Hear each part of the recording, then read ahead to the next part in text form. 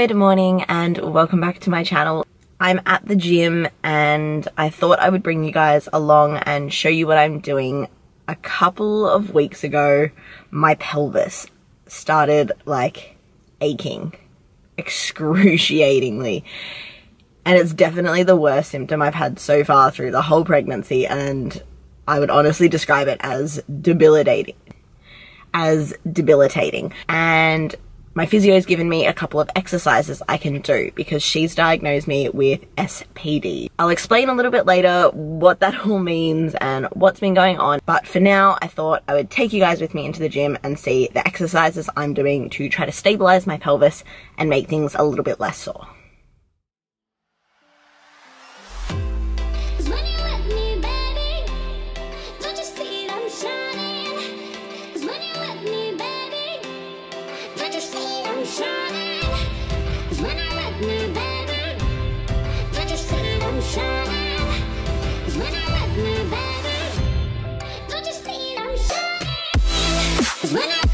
Bye.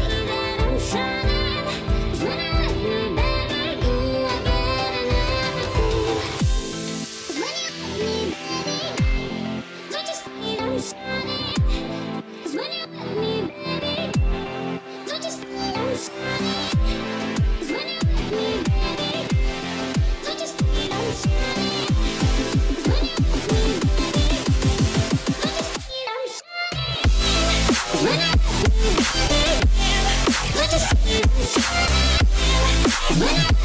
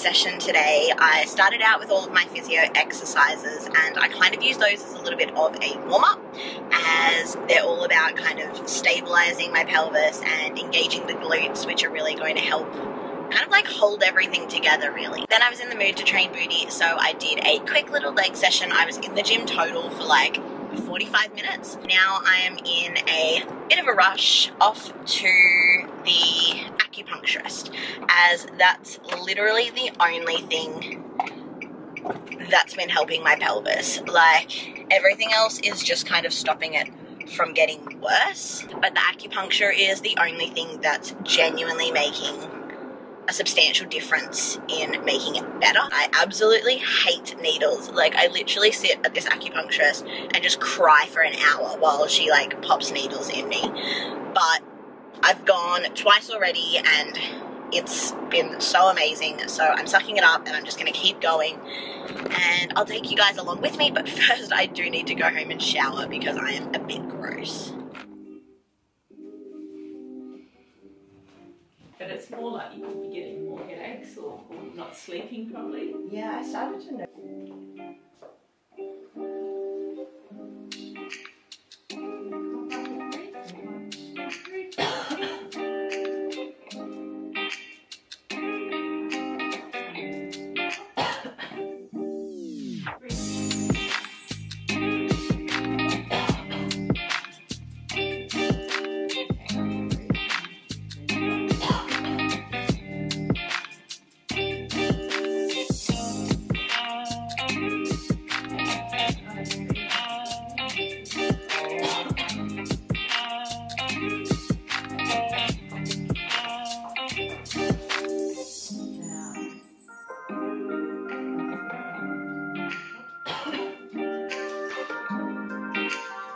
So I thought I would jump on here and just give you guys a little bit of an update. Now in my third trimester of my pregnancy and I'm about to hit 34 weeks. Can't believe how quickly everything is gonna come. I wasn't sure if I should do this update because I didn't wanna like come on here and be a negative Nancy and just complain, but at the end of the day, this is my experience, and I guess that's what I'm sharing, and that's the whole point of this. Please take this in a good way. I'm not complaining, just being kind of honest with what's been going on. About three or four weeks ago, I started getting really, really just bad pain in my pelvis, particularly when I was doing things like working out or exercising or even just like walking. And at first, I tried to ignore it hoping that it would kind of go away. But then it did get quite painful and quite limiting. So I had a chat to my physio and my midwife, and they both said, like, it's pelvic girdle pain, it's not to worry, it's super common.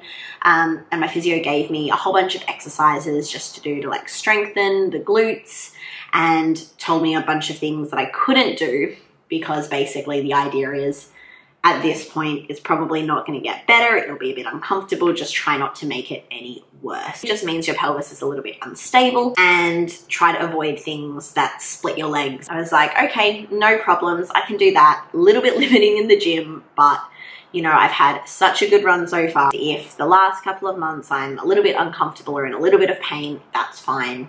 I can deal with that. But it got worse very quickly. I got sick again, so I wasn't even training and I was in so much pain. I was doing everything right. I was doing all of my exercises from the physio. There were days where I would get up and I can't even walk downstairs to the coffee shop to get a coffee without being in like excruciating pain. Getting a lot worse very quickly and I wasn't even doing anything at all to aggravate it. I was doing actually everything to do the opposite. I went back to seeing my physio for like a one-on-one session. It wasn't just your standard low level pelvic girdle pain that is quite common in pregnancy, um, that it actually progressed to SPD, which is like the official medical term for it, symphysis pubis dysfunction.